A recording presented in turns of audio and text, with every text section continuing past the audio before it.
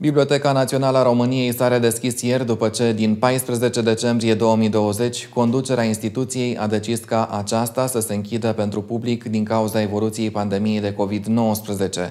De atunci, toate evenimentele au avut loc doar în mediul online. Biblioteca Națională a României s-a redeschis și vă așteaptă de luni până vineri între orele 8-20 în spațiile libere, cu respectarea regulilor de protecție impuse de situația actuală. Sperăm că vremea autentică de iarnă nu vă va împiedica să ne fiți alături, așa cum o faceți de fiecare dată, informează reprezentanții instituției într-un comunicat pe pagina de Facebook.